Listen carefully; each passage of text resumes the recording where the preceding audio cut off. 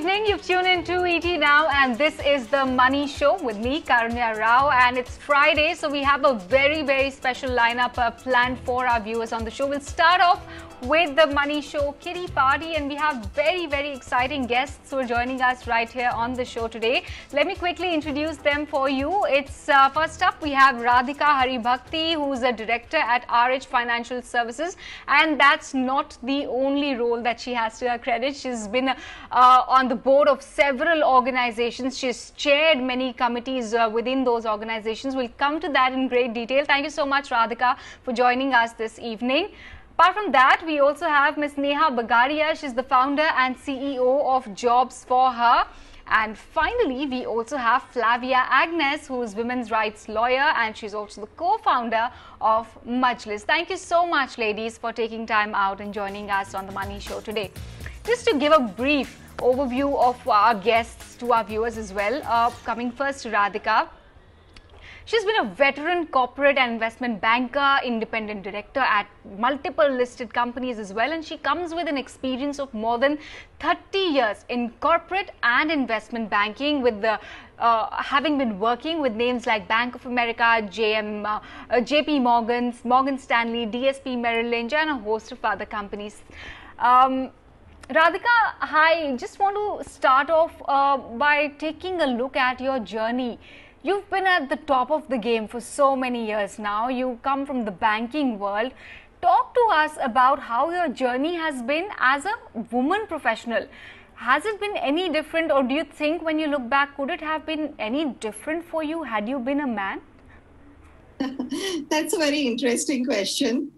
Um, see, one thing I would like to say is that uh, we are in a patriarchal society and uh, what happens at workplace also reflects uh, the same kind of uh, values, biases, and what have you. So I would say that when I started out, and this was in the 80s, so in 80s and 90s, this whole thing about gender diversity and affirmative action and all those things were not around. So we did have to work hard to make sure that our work got recognized.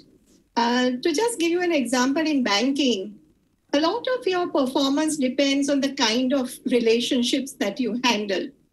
And initially, most, not just me, I found that a lot of women who joined the banking sector would be given the smaller, the low potential accounts and relationships. So you do start out with certain handicaps, but over a period of time, when you have a track record to back you, things get easier.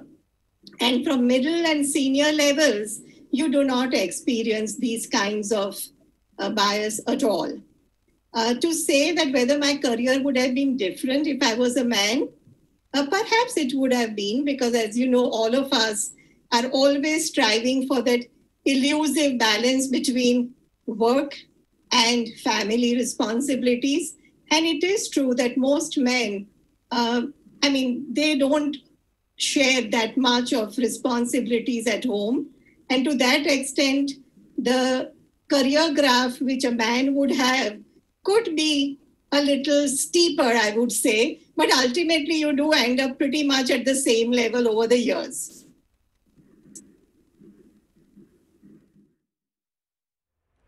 Right. But uh, would are things different when uh, you start out your career? Perhaps now things have evolved a lot from when you started, but were things easier or things more tougher for women back then? For those days. Nowadays, it's much easier. Also, I think more and more women have joined the workforce. I'm very aware that when we talk about Indian participation of women in workforce, it has fallen and this is also in the informal sector. But I'm talking about the corporate world where many more women have come in. Many more women have done exceedingly well, especially in banking industry.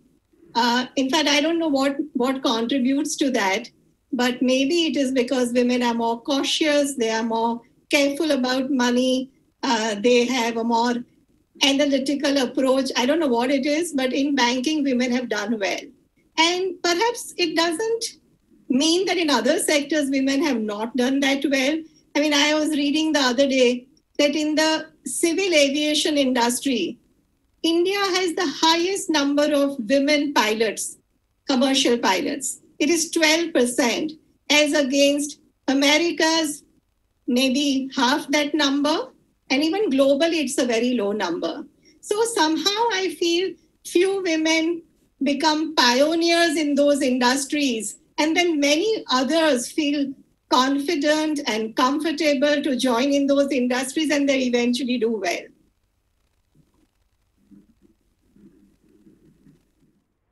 Okay.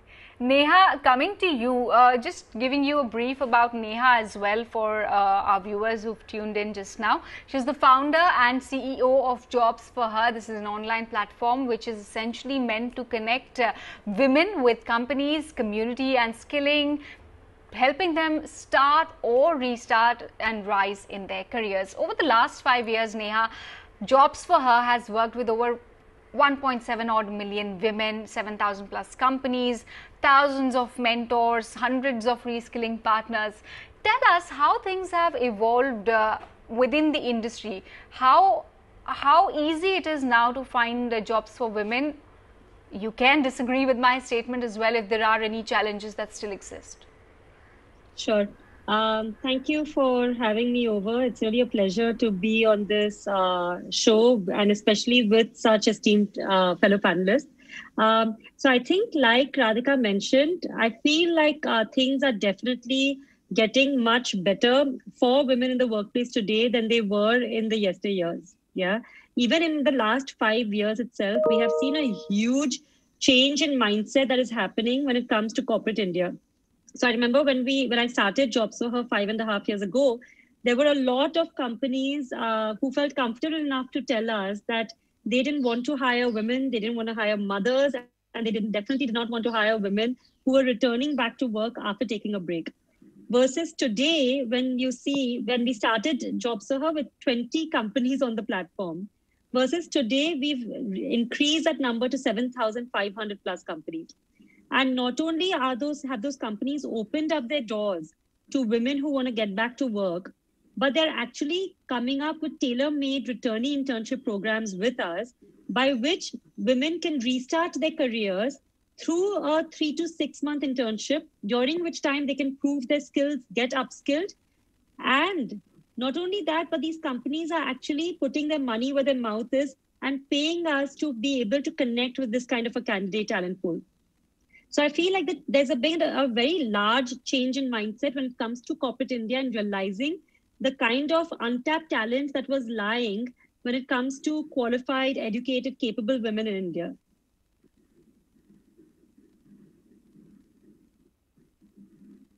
You know, uh, it's interesting that you say that people and companies are more open uh, to rehiring women or uh, sort of reskilling them, training them, welcoming them back into the professional sphere. What about career progression? Do you think uh, it's as easy for men as it is uh, for women as it is for men getting ahead in the career, uh, perhaps getting a promotion or a raise? No, frankly, a man, like uh, Radhika mentioned again, a male career graph and a female career graph are very different, right? We're used to seeing a male career graph which is like this and usually a typical woman's career graph would kind of go like this. Yeah, there'll be many times, many occasions during her career where she will feel the need to scale down, where she'll feel the need to take a break, uh, where she'll feel the need uh, to say no to that particular challenging role or assignment that has come her way. And all these hamper her career progression.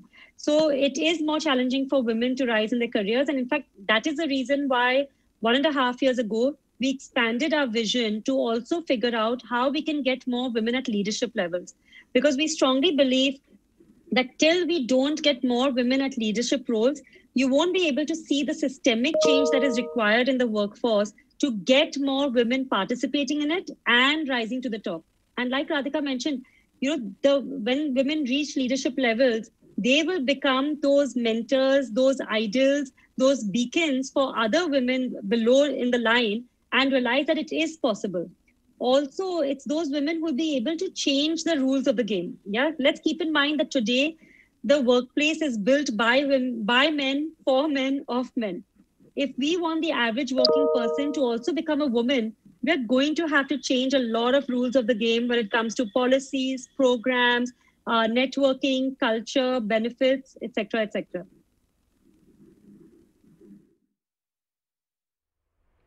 Let's talk policies and laws and uh, who better than Flavia Agnes who we have on our panel today. She's a women's rights uh, lawyer and a pioneer of uh, women's movement in India focused on issues of gender and law reforms. Flavia, pleasure to have you on board today.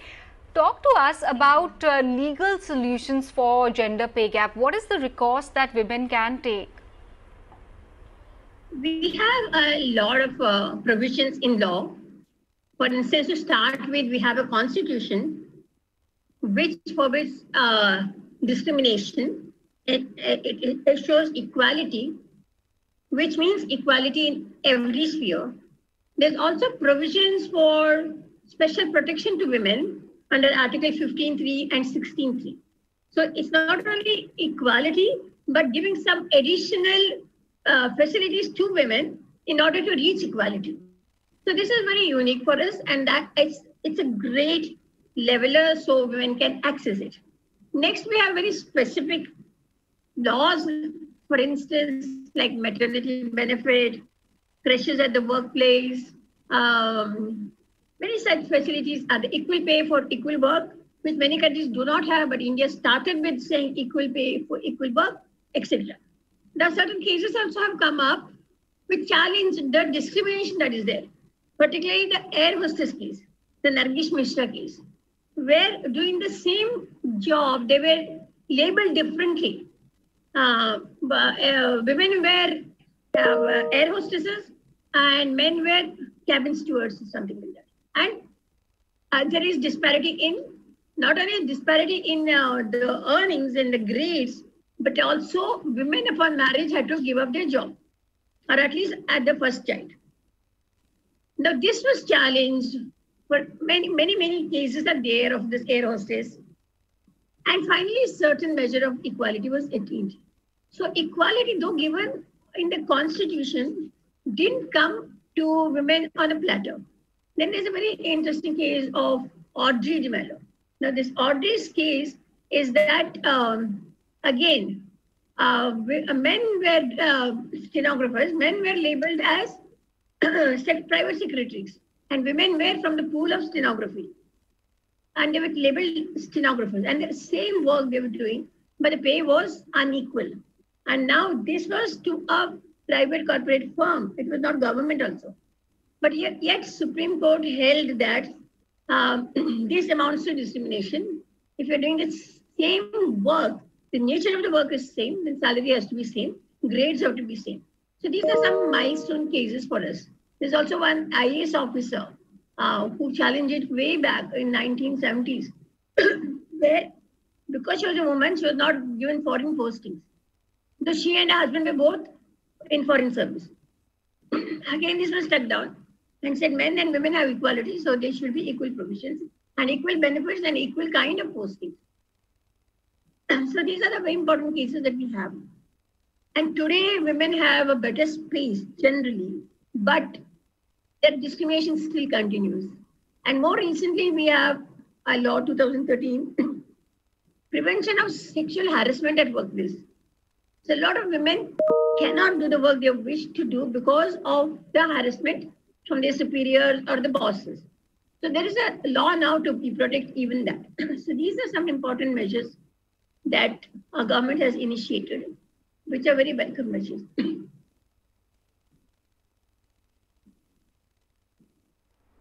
Right. But you know, often what we see and hear about is that institutions are educating their employees against uh, you know any kind of uh, sexual discrimination sex based discrimination or sexual exploitation or harassment at workplace.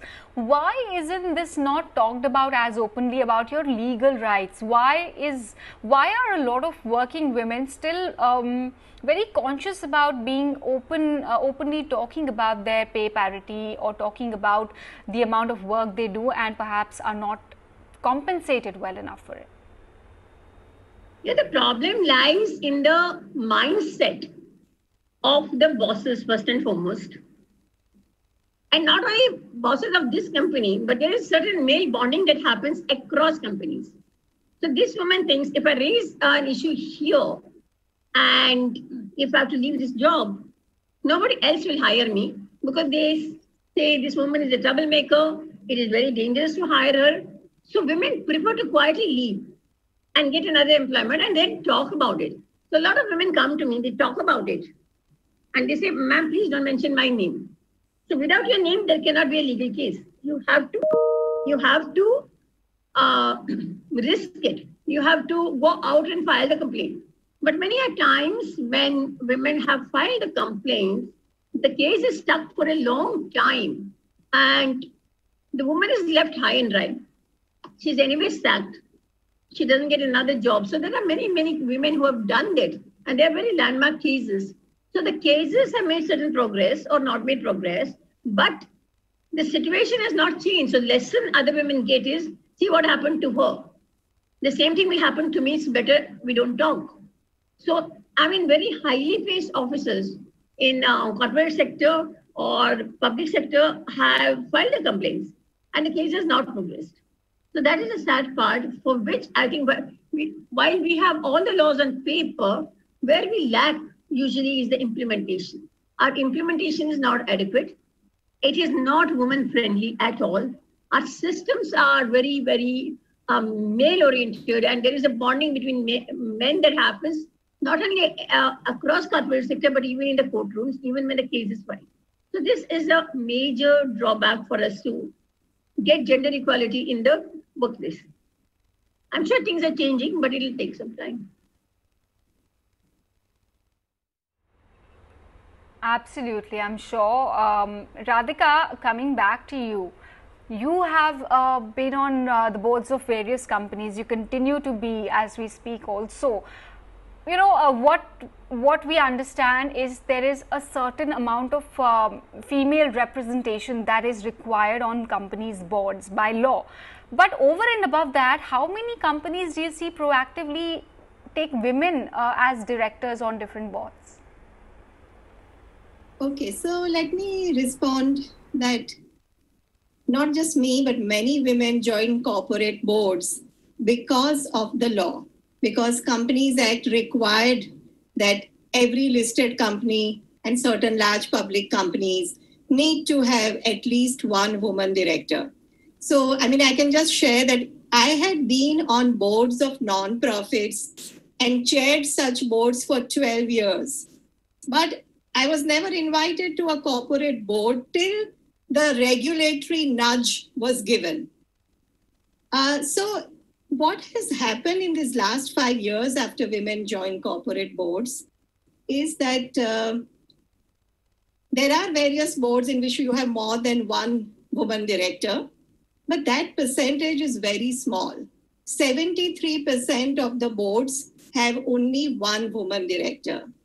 And if you look at the men on the boards, 98% have three or more men on the board. So there is a huge gap. Having said that, and this is not my experience, I've been fortunate that I I'm on every audit committee of the five boards I've joined. I chair one audit committee, I chair one nomination and remuneration committee, and I chair one CSR committee, which I feel very passionate about. But if you see the statistics, only 6% of the audit committees of the listed companies are chaired by women, only 9% of the nomination and remuneration committees are chaired by women. So it is true that uh, there is a lot, long way ahead for women on boards to cover in terms of not just having a voice in the boardroom, but also leadership positions where they can actually make a huge difference. So I'm hoping that what the government has done, they've done their bit, now, India Inc. needs to do their bit in terms of supporting and welcoming and empowering more women in the boardrooms.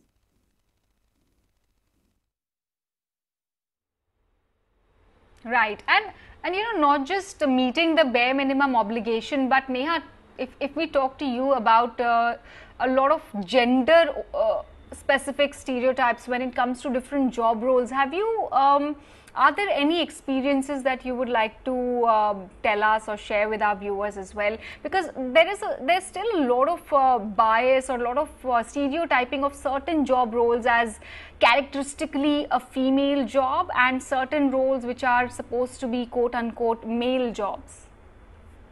Yes, absolutely. I have to tell you about uh, an instance when uh, uh, one of the companies very proudly came to us and told us that you know they have just completed an entire analysis and um, uh, they have figured out exactly which roles will be suitable for female candidates and which will not be suitable.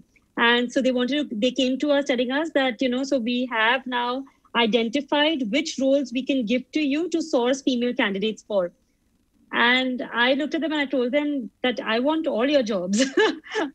I was like i don't think there's any particular job that is not suitable for a female candidate um, and um, again, this was not like they were badly intentioned.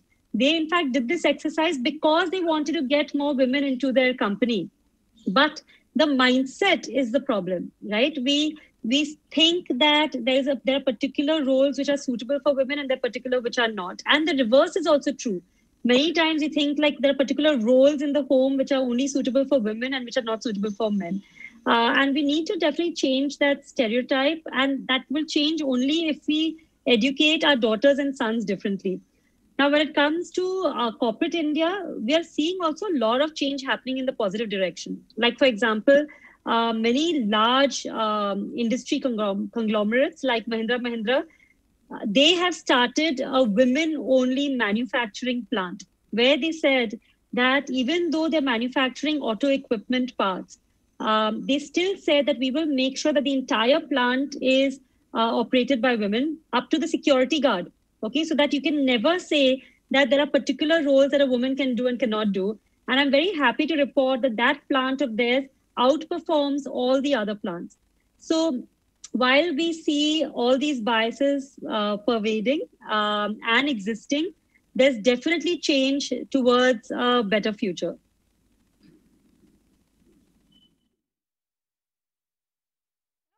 Does happen in a lot of cases. You mentioned this Mahindra example, but otherwise also there are several women who are equally well educated, equally hardworking, have perhaps performed even better than several of their male peers. But Flavia, why is it that they are um, scared of speaking up? And if you if you also would want to, you know, pick a leaf out of your book and talk to us about any experiences that could really um, boost the confidence of women and all the viewers that are watching us right now? The government has done its bit. So a woman who is sexually harassed doesn't have to go to the police station, which can be a deterrent. She doesn't like to go to the police station. Now, by law, you have to set up internal complaints committees. And, she, and an HR officer or whoever is designated into these com- companies or who have heads these companies, uh, this information is supposed to be displayed everywhere. And every woman is, every employee is supposed to know what is sexual harassment, where is the committee, how you can make a complaint. Now, I don't know whether this is happening. Most of the trainings that we are invited to conduct do it in such a cursory job. They said it is mandated, so we have to do. So people come, people go, people are not serious. It is, madam, you don't bother, you just do your job and you go. But I said, no, we come here to teach you this particular, the way, way the committee should function. He says, no, no, you know, like we are supposed to do this, so we are doing it, it's okay. You, uh, since we can mark you that you came here and you did this, that's good enough for us. We don't have to learn anything. So this is a casual attitude into which the HR department is functioning, which is very sad because we take a lot of trouble to go there and to communicate to them. Having said that, uh, when a complaint, when, when an incident happens and a complaint that is filed before this committee, it has to be a written complaint, not just oral. If somebody comes and tells you orally, you have to ask the person to write it down and then conduct an inquiry, etc. Now, when this is a, such a long drawn process, and the incident could be very minor or could be almost invisible, there may not be eyewitnesses, etc And the tendency of the members of the internal complaints committee in general is to disbelieve this woman, is to uh, label this woman with certain ulterior motive. And that is very sad because this is not the role of the complaints committee. Now, usually there is an NGO member from the outside. If the NGO member knows the law very well and is very firm, she may be able to uh, bring a change in the opinion of other members. But if she's just a puppet, you have chosen some, you know, your husband's friend, uh, wife has done some gender training or whatever, so we'll invite her. So she's also not like, you know, independent of voice her opinion. And if she, feels that they've done a favor by including her in this committee. So many times the woman does not get justice. And if she doesn't get a justice, the next thing is to file in the High the, against the committee as well as against the man and against the firm. And that becomes a long drawn affair, a very long drawn affair, in fact, in the High Court. And if she doesn't get justice there, she has to go to Supreme Court. So that's the reason we don't, by now, 2013 Act, but before that, we had Justice Verma's judgment in 2007, uh, uh, 1997 for the Vishaka judgment. From then onwards, things were supposed to change, and by now, the things would have changed. But sadly, this is not the case. I mean, some change you can see very slow, very gradual somewhere, but it's not an overall change because when the man harasses the woman, many times he comes and says, I didn't even know uh, that uh, this is called, this amounts to sexual harassment. I just said that she's overweight and she needs to reduce. Uh, so that's that's not a personal comment. I just said her, uh, um, nail polish is very beautiful, or she's looking very beautiful today. Or I think, yeah, her uh, uh, blouse and her uh, underwear doesn't match. So she should be more careful to match everything. Now, these are very personal kind of comments, but a man doesn't realize. He thinks it's a good intention com- uh, comment. So it's very important to for the staff members, or even senior staff members, to understand what constitutes sexual harassment as per law. So these uh, training sessions are very important. If they don't take it seriously, then they will never come to know and they will never be able to change the environment within the workplace. And that is very sad.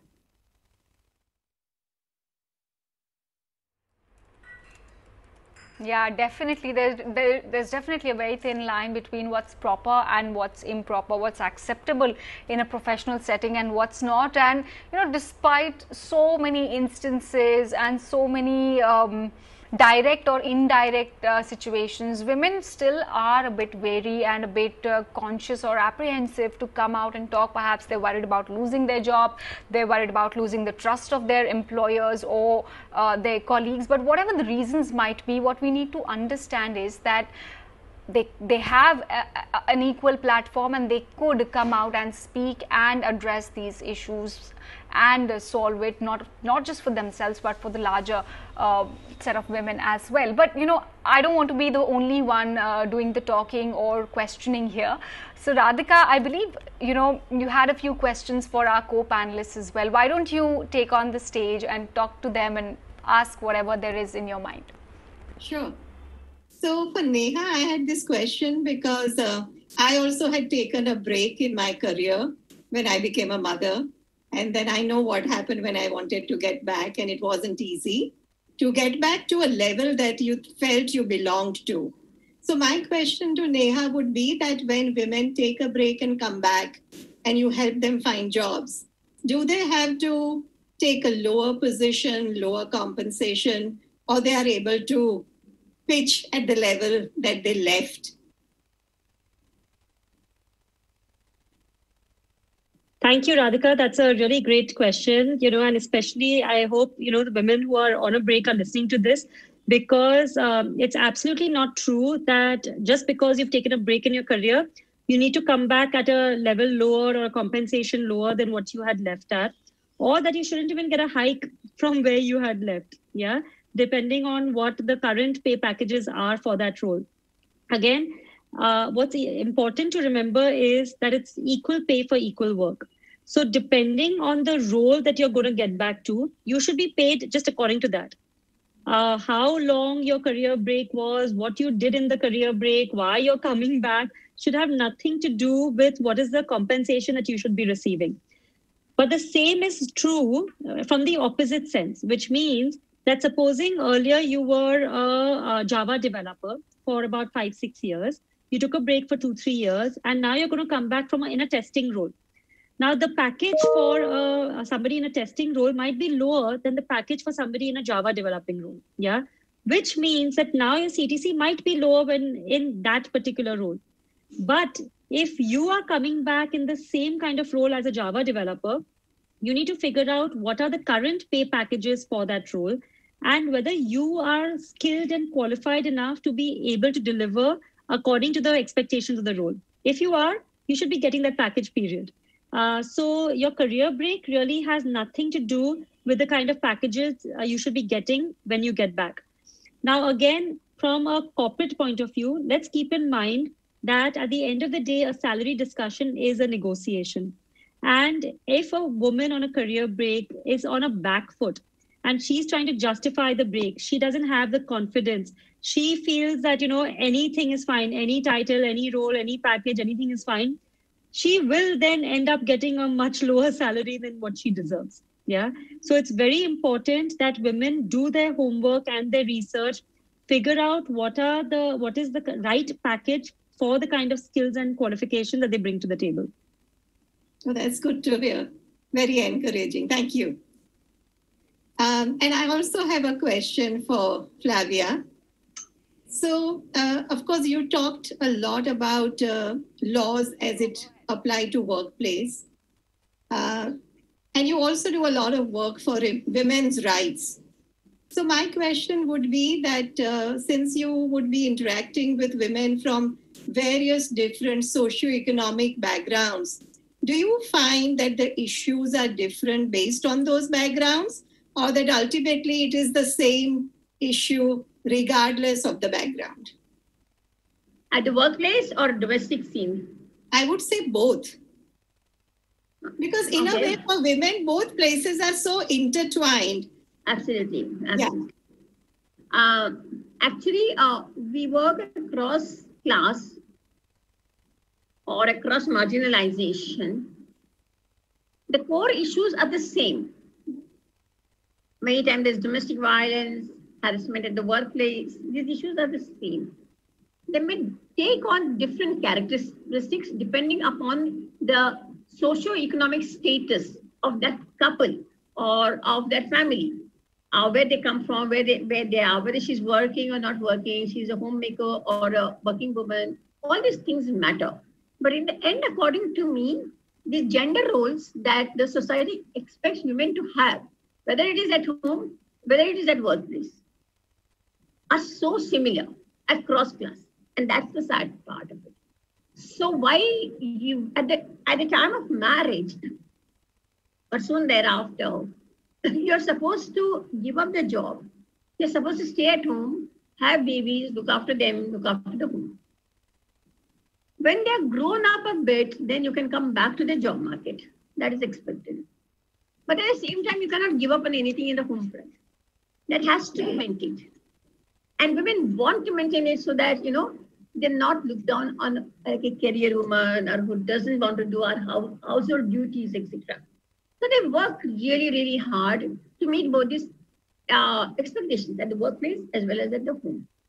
But when problems come, whether it is at the workplace or in the domestic front, they have implications in the other place. For instance, your, your marriage is breaking down and you are mentally very disturbed state. It affects your work performance. And it's not only just upsets your work performance. But if you confide in your boss or some superior, or he asks you probing questions because you're crying and you uh, confide in him, then that leads to sexual harassment at workplace. There's notice this in many situations. So the man tends to exploit her vulnerability. On the other right. side, if there is a vulnerability at workplace and she hmm. comes and confides in her husband, his usual uh, reaction is like, okay, stop working. There's no need to work. So she prefers not to tell him and deal with it. Sure. There's also another problem which women face, which is not necessarily a sexual harassment issue, but when she is very competent at workplace, when she does very well, she herself herself likes to undermine her performance so that there's no insecurity in a marriage. The husband doesn't Right. feel threatened that the woman is doing so well. So this is a counterproductive thing. Whereas a man would perform and display his performance and achievements, a woman has to like Hmm. mellow down and uh, and not display her performance in order Okay. to save the marriage. But in the end, the marriage may not be saved at all. And then she Oh. regrets it so that she's not able to like, oh, she would have risen much higher and she didn't let herself in order to save the marriage. And now the marriage husband has filed for divorce because he's Right. fallen in love with somebody. Right. Fair point. Fair point. Uh, ladies, unfortunately, we're running out of time. We would would have loved to, you know, go on with this. This is such a, uh, you know, engaging topic. But thank you so much for taking time out, all three of you. This was a very enriching session. Thank you once again for joining us on uh, this special segment on the Money Show today. Slipping into a break right here, but plenty more when we come back. Stay tuned.